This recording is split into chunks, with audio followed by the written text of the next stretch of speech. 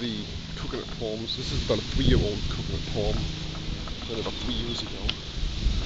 And this coconut palm I just planted. You see the, the cypress mulch. And here's Winnie's peanut, my coconut palm that I just planted. Trying to destroy it. That's about a one-year coconut palm. And this is about a two-year-old coconut palm planted about two years ago.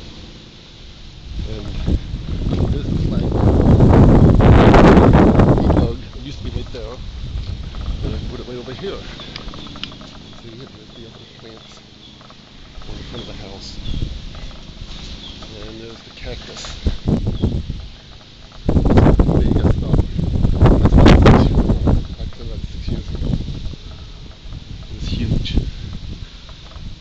And all the front yard plants. The rose bush.